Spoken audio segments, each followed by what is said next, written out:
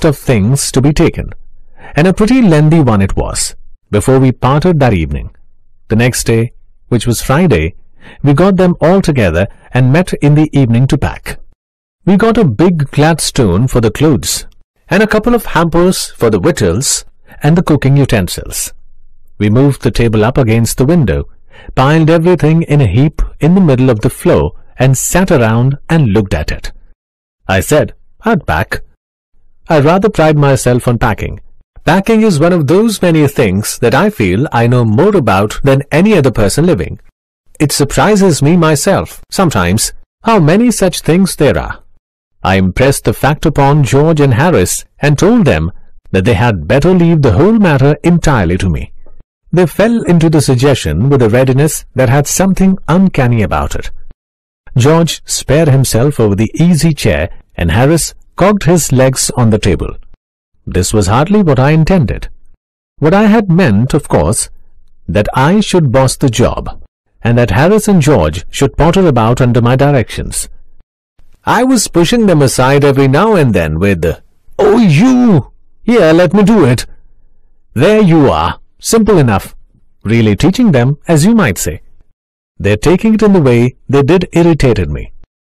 There is nothing that irritates me more than seeing other people sitting about doing nothing when I'm working. I lived with a man once who used to make me mad that way. He would loll on the sofa and watch me doing things by the hour together.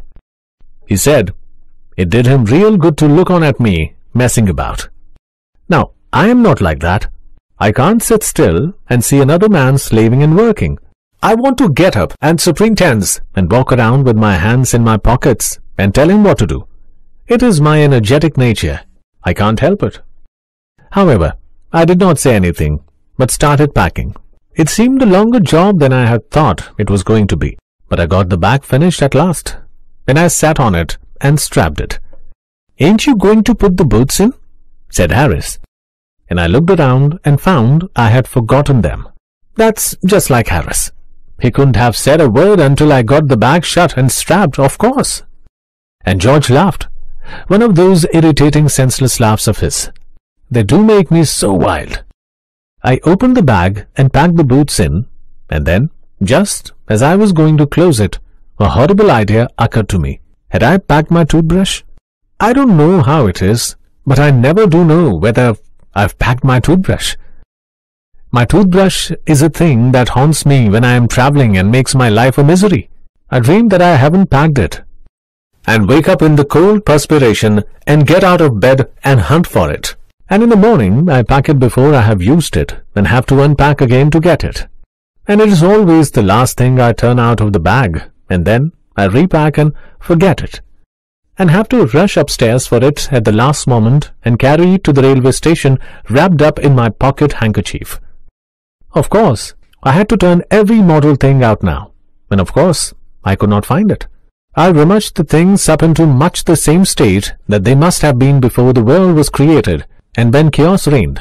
Of course, I found George's and Harris's 18 times over, but I couldn't find my own. I put the things back one by one and held everything up and shook it. Then I found it inside a boot. I repacked once more. When I had finished, George asked if the soup was in. I said, I didn't care a hang whether the soap was in or whether it wasn't, and I slammed the bag shut and strapped it, and found that I had packed my tobacco pouch in it, and had to reopen it. I got shut up finally at 10.05 p.m., and then there remained the hampers to do.